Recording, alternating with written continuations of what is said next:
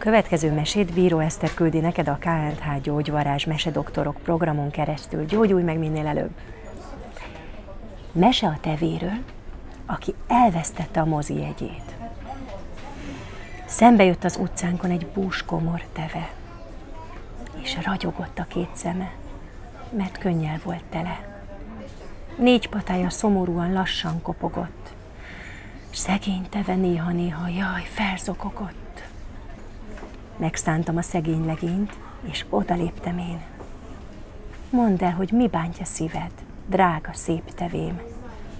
Rám nézett, és pityeregve annyit válaszolt.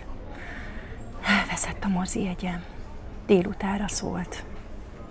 Ez bosszantó, de buslakodni kár.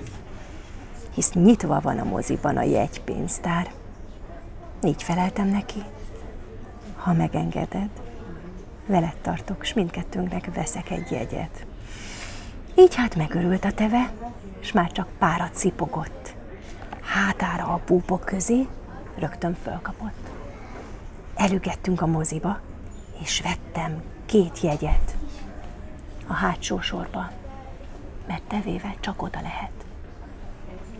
A film előtt a büfépultnál vettem tök magot, magamnak csak kiszacsit, de neki jó nagyot.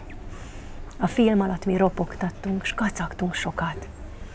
Így néztük a széles vásznú víg kalandokat.